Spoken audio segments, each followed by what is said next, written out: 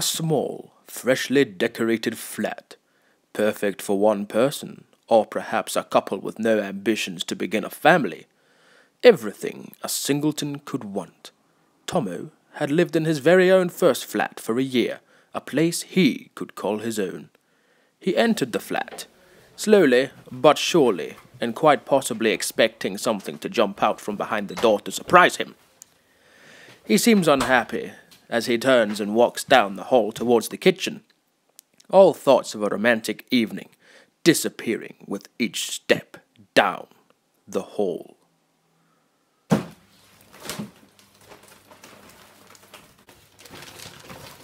Once in the kitchen, Tommo began to empty the bits and pieces from his groceries out of the bag and places them onto the kitchen counters and into the cupboards.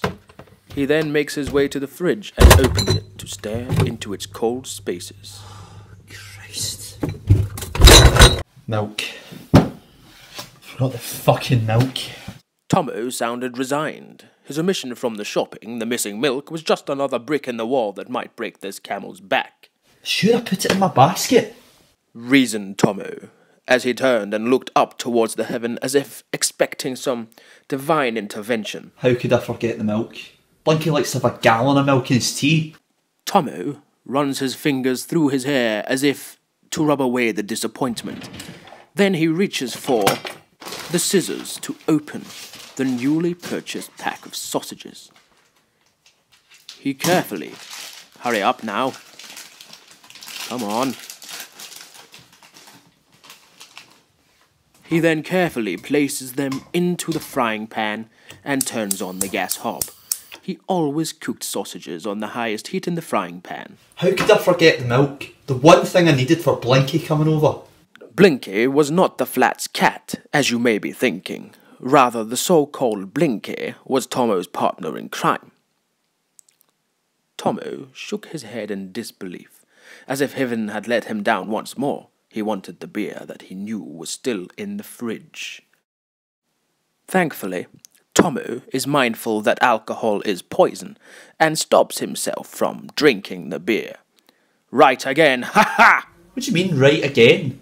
I've got the beer, you fucker. Hello? You still there?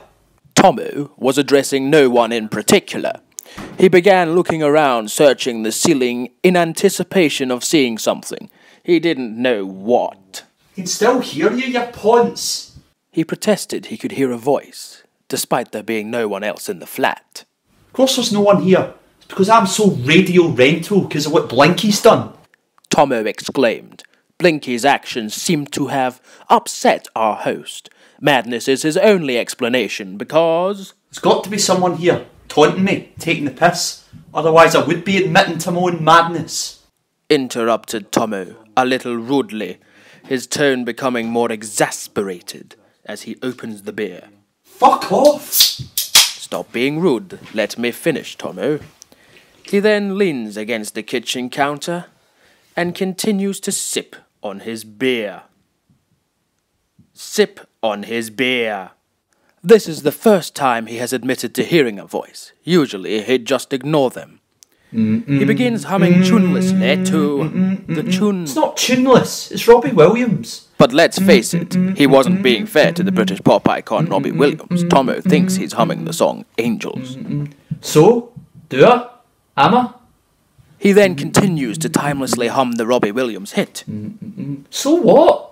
shouted Tommo as he continued to hum before lifting and filling the kettle with water from the tap. So what? said the voice. So what? repeated the voice. Tommo thinks that the voice is that of an angel. No, I don't. exclaimed Tommo. He can't understand why the voice is following him. Thinking the voice was a ghost was just too scary, so he thinks it's an angel. I don't think so.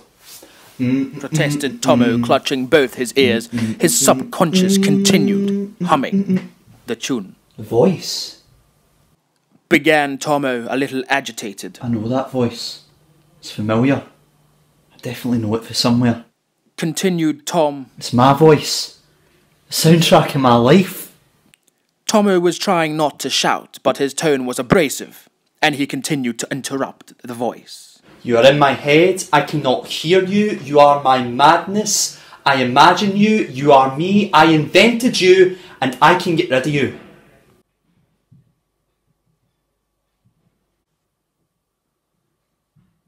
Bollocks! shouted the voice, mocking Tommo.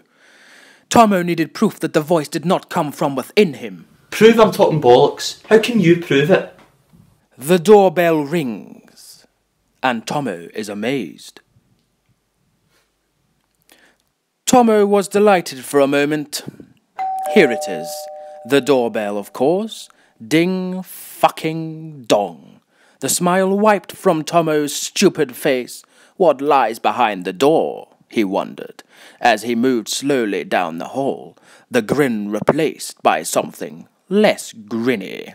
He continues apprehensively making his way out the kitchen, into the hallway, and towards the front door. Who's there?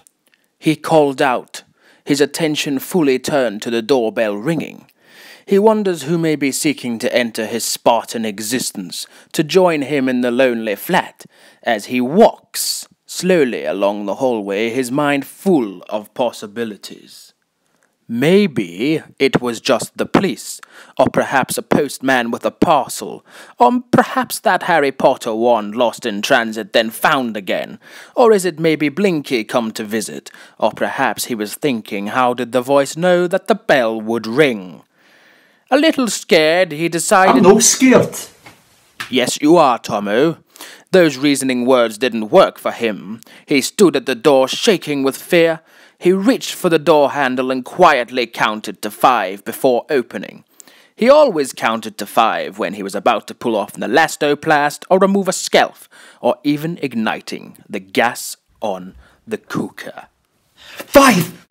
Tommo swung open the door, and there he was confronted by his dear friend and business associate Blinky Burns, a local Gallus gangster who refused to answer to the name bestowed upon him by the big gangsters in the bar ale of Button Burns on account of his size. Button constantly resented being a diminutive guy. As a result, what there was of him was filled with malice and vindictiveness. No words are exchanged between the two friends as they move into the living room.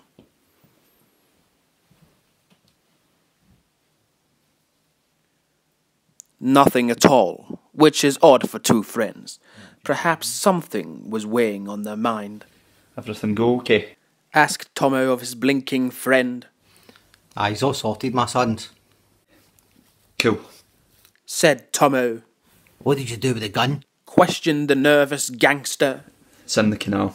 The weapon used to rob and then murder a 70 year old shopkeeper had to be got rid of. A crappy Kruger .22 handgun now resting among the reeds and sediment of the Forth and Clyde Canal. The robbery deprived the man's daughters and sons of a father and a grandfather. Blinky had pulled the trigger. There had been no need to fire out, but Blinky wanted to see what kind of a mess the crappy Kruger would make. They had planned the whole insidious episode together. What the fuck is that? Shouted the teeny weeny Glasgow hard man. What the fuck is what? Oh, you mean that cunt? Are you taking the piss, Blinky? Tommo appeared confused by his friend's expletive rich question. And no doubt the account of their crime was still rather unsettling. That man, the voice. Can't you hear the fucking voice? What are you talking about, Blinky? What voice? lied Tommo to his miniature mate. The panic had set in with Tommo as he waited for his sausages to cook. You can hear it there just now. The voice has told me you're lying, and they're cooking sausages. Can he smell sausages? You're the only other person here, Blinky. I can't hear a thing. And the sausages won't be long. Which was partly true. Blinky the gangster and Tommo were physically in the room. The only people in the room. A disembodied voice could hardly be described as present. Or could it? The sausages would never be ready to eat. The time has come, my friends, for the fat lady to sing. What fat lady? Did that fat bitch eat your sausages? Tommo rose from his semi recumbent position and made his way to the living room door. However, he found that he was unable to open it. He immediately felt like he was trapped.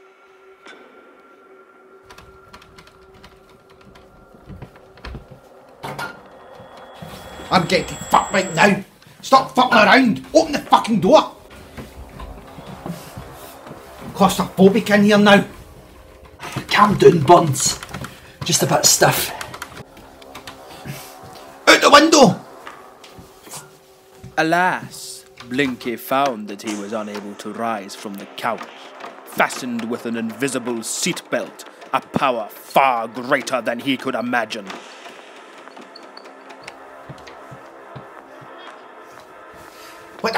Is this voodoo? As Tomo and Blinky struggle against unseen powers at work, their only concern seems to be the fate of the sausages and leaving the flat. You see, everyone being visited by the Dark Angel is of no concern to them. Hell is only a short skip and a jump away. No problem cooking sausages there, I can promise you that. What neither realizes is that the sausages were never cooked by Tommo, because the gas was never ignited under the frying pan. Only when Blinky tried to unsuccessfully light a cigarette, the gas ignited. The flat and its odious criminals were blown to smithereens, killing them both in a single second. The souls have still to come to terms with their deaths, and I will never let them.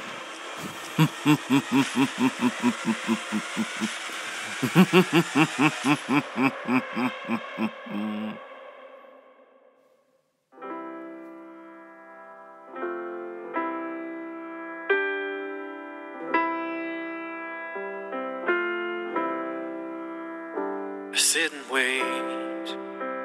Does an angel contemplate my fate? And do they know the places where we go when we're gray and old? As I've been told.